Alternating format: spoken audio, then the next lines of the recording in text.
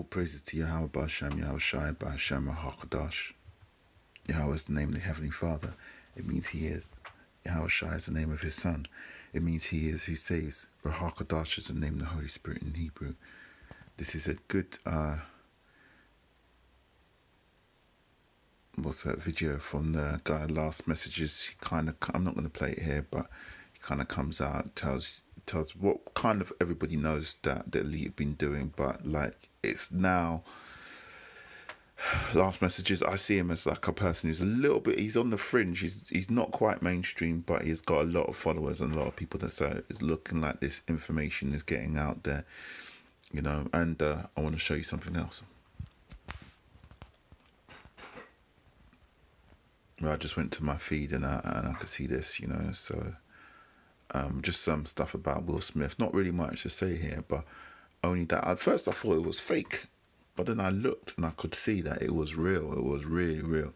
So, um, or maybe they, I don't know, maybe he had to do that, or maybe he's on his way out, you know.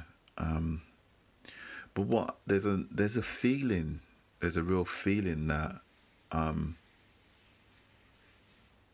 Esau's kingdom, NWO, the last empire, the um, empire laid in thick clay, or the feet of the dream of Daniel 11, is crumbling. There's a real feel of that. Let's, let me show you something else. This is the Russian ruble versus the US dollar. Now, let's do one year actually.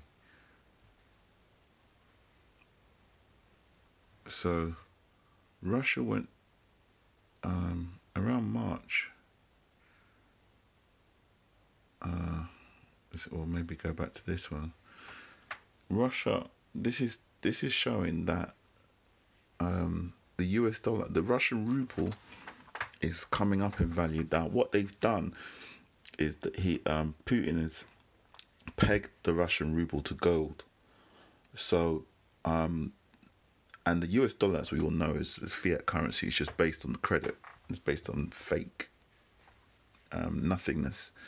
But the Russian ruble has been pegged to gold, and also Putin's also said that if you want to buy Russian oil, if anybody wants to buy Russian oil, they have to pay in rubles. Now, this is damaging the petrodollar and bringing up the ruble. He's Putin has done the G moves, and this is like why he shouldn't. You should leave sleeping bears alone. Like he's actually, um, according to this, it's been about thirty days, thirty-one days since the start of the war. So this this shows like a really good.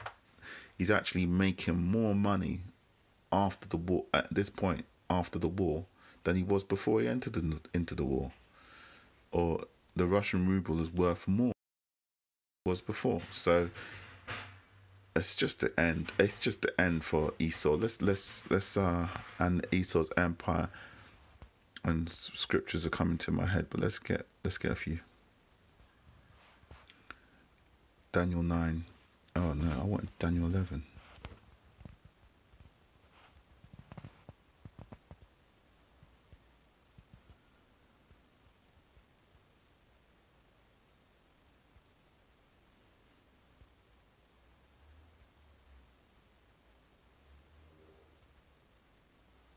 Then shall he turn his face toward the fort of his own land, but he shall stumble and fall, and not be found.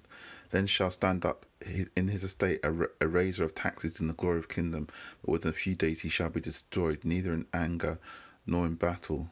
And in and in his estate shall stand up a vile person, to whom they shall not give the honour of kingdom, but they shall come in peaceably, and obtain the kingdom by flatteries, and with the arms of of a flood shall they be brought that shall they be overflown from before them and shall be broken.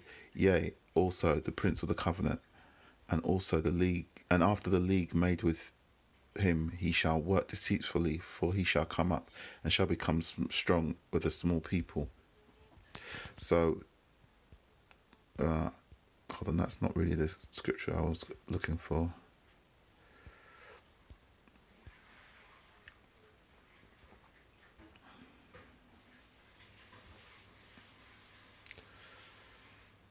And at the time of the end shall the king of the south push at him, and the king of the north shall come against him like a whirlwind with chariots, and with horsemen, and with many ships, and he shall enter into enter into the countries and shall overflow and pass over, and he shall also enter into the glorious land, and many countries shall be overthrown, but these shall escape out of his hand, even Edom and Moab and the chief of children of Ammon. He shall stretch forth his hand unto the countries, and the land of Egypt shall not escape.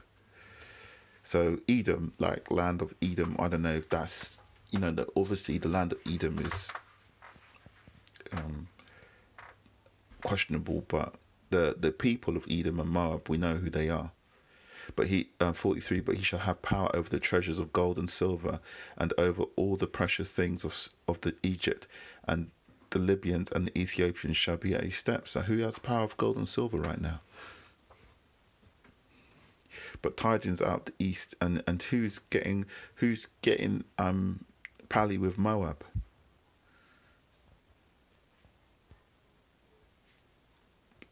But tidings out the east and out the north shall trouble them him.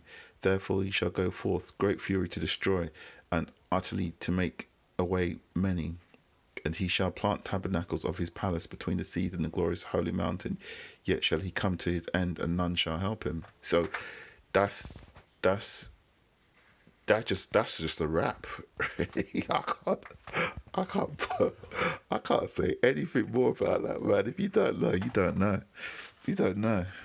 But um, yeah, if you if you're unsure about what I'm talking about, look up the gold of the Russian ruble. Look how Esau's getting exposed. Look how he's coming out like a whirlwind. Look at how he's he's taking down people, but not with necessarily with bullets. How he's going to take down Babylon, but not necessarily with bullets. You know, um, Neither shall he regard the God of his fathers, nor the desire of women, nor regard any God, for he shall magnify himself above all. Just watch the space and see how it goes, man. Follow them scriptures. All right, with that, I'd like to say shalom.